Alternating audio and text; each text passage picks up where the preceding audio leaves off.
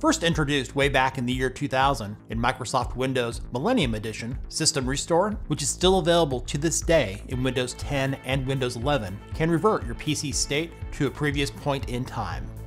This is especially useful when troubleshooting issues caused by recent changes, such as driver updates, software installations, or system settings modifications.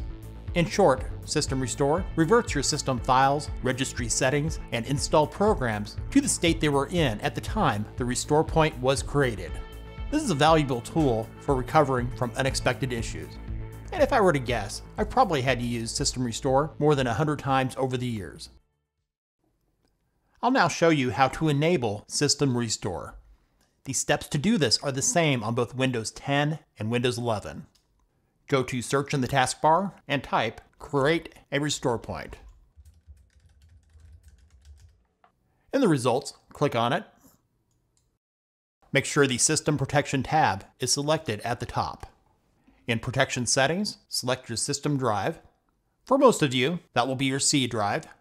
After selecting it, click on Configure. In Restore Settings, select Turn on System Protection.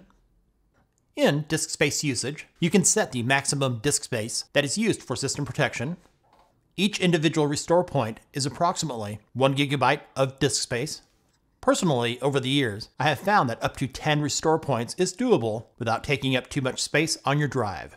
So I recommend adjusting the slider to a percentage that uses a little bit more than 10 gigabytes of space, which in this case on this computer is 3%, 13.84 gigabytes.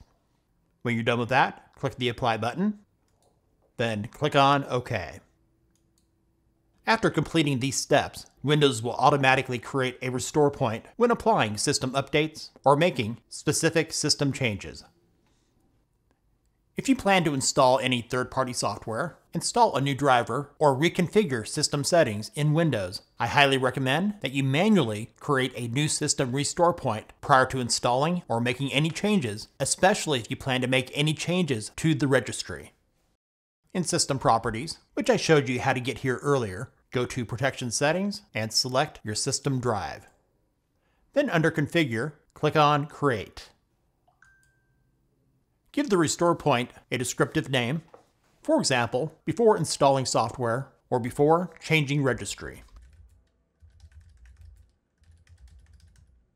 When done with that, click on Create.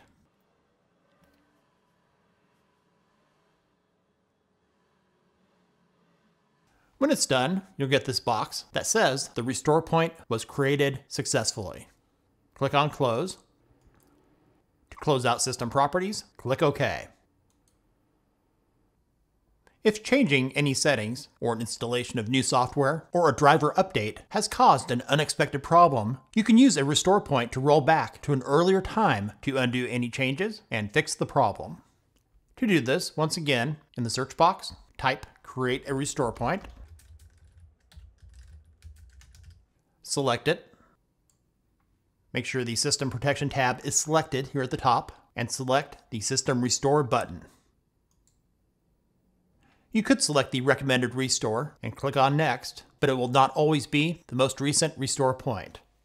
If it isn't and you want the newest one, select Choose a different restore point and click on Next. These are the two most recent. If you want to see additional restore points, select the box next to Show More Restore Points.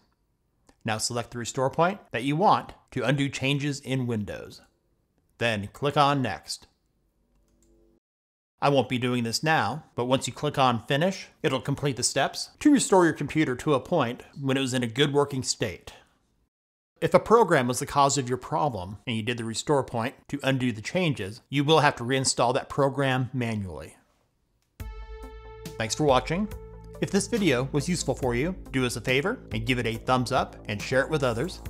If you're new to our channel and haven't done so already, I invite you to subscribe and hit that notification icon to not miss out on our latest videos about Windows and other tech related stuff.